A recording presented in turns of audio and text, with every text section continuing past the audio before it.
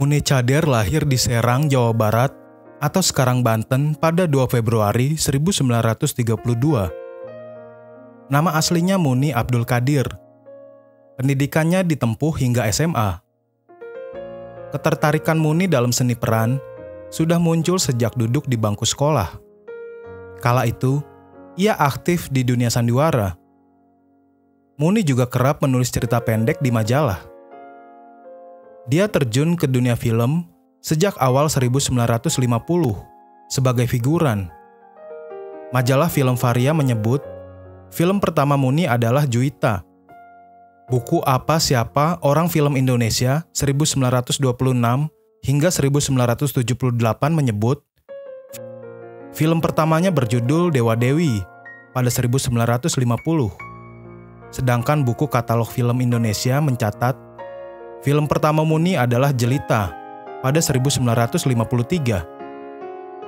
Setelah bermain dalam film Mr. X atau Uang Palsu pada 1955, dia menarik diri sejenak dari dunia film. Selama tak aktif di dunia film, Muni sibuk menjadi pengusaha eksportir teh. Dia kembali lagi ke layar lebar pada 1971. Buku apa siapa orang film Indonesia menyebut saat itu dia bermain dalam film Kekasihku Ibuku yang disutradarai Turino Junaidi. Sedangkan buku katalog film Indonesia mencatat dia bermain dalam film Cinta di Batas Peron saat comeback.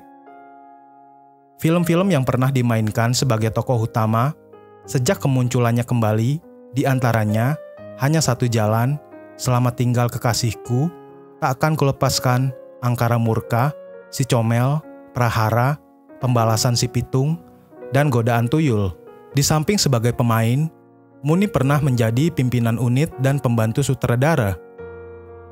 Muni juga bukan aktor sembarangan. Dia, dia belajar teori akting dari membaca buku bahasa Belanda. Dia menguasai teori berakting dan memperhatikan akting dari sisi ilmiah. Saat akan bermain film, dia selalu menanyakan kepada kameramen lensa berapa yang dipakai. Lalu, menyusun aktingnya dalam grafik sesuai teori. Menurut Muni, beda ukuran lensa menentukan geraknya. Grafik itu untuk catatan, pada adegan mana saja dia harus memeras akting atau sebaliknya. Keseluruhan akting dalam film, kata Muni, perlu analisa secara teoritis. Meski menurutnya, ada beberapa hal yang tak mesti berpatokan pada teori. Selain itu, Muni rajin mencatat adegan per adegan, Misalnya, tokoh A1 muncul di mana, A2 di bagian apa, lalu A3 di mana. Dia pun paling senang bila sebelum mulai syuting, diadakan diskusi skenario bersama sutradara dan karyawan lain. Semua ini menurut Muni penting sekali diketahui aktor. Barangkali, selain bakat aktingnya, penguasaan teori itulah yang membuat Muni bertahan lama di dunia film. Sepanjang karirnya, dia bermain dalam 70-an judul film. Dalam Festival Film Indonesia tahun 1989, dia masuk nominasi pemeran pembantu pria terbaik pada film Nusa Penida.